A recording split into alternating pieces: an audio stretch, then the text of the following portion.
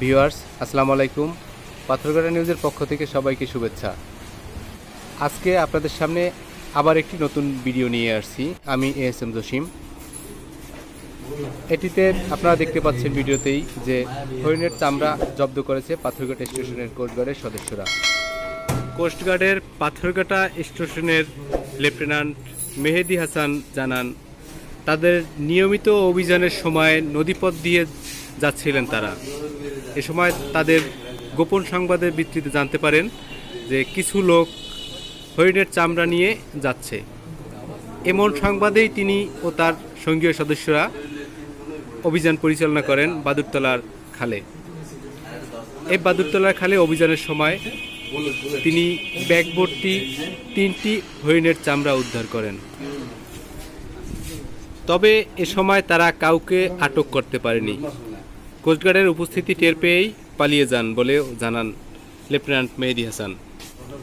Lieutenant Mehedi Hasan বলেন, নিয়মিত টহলকালে হরিণের চামড়া বিক্রি করার উদ্দেশ্যে পাচার করা হচ্ছে এমন সংবাদের ভিত্তিতে অভিযান পরিচালনা করেন তারা।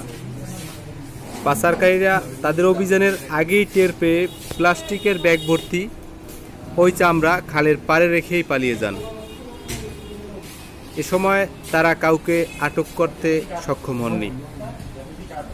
প্রিয় ভিউয়ার্স, আপনারা পাথরঘাটার এরকমের নিয়মিত আপডেট পেতে আমাদের চ্যানেলটি সাবস্ক্রাইব করে পাশের বেল আইকনে ক্লিক করে রাখুন, যাতে পরবর্তী নতুন ভিডিও আপনারা পেয়ে যান।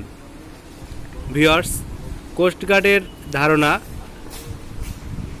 যে তিনটি চামড়া দেখতে পাচ্ছেন, এই চামড়ার মাঝখানের যে হরিণটি ছিল, এটি অনেক বড় ছিল। কোস্টগার্ড ধারণা করছে এই হরিণগুলোকে গুলি করে হত্যা করা হয়েছে। কারণ চামড়ার উপরে বিভিন্ন জায়গায় ফুটো দেখা যাচ্ছে। মনে হচ্ছে যেন গুলির চিহ্ন। ধারণা করা হচ্ছে হরিণ শিকারের জন্য হরিণ পাচারকারীরা বিভিন্ন পন্থা অবলম্বন করে এই হরিণগুলো শিকার করছেন।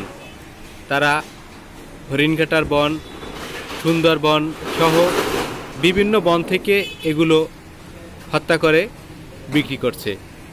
চলুন আমরা কোস্টগার্ডের লেফটেন্যান্ট মেহেদি হাসানের কাছ থেকে বিস্তারিত শুনব।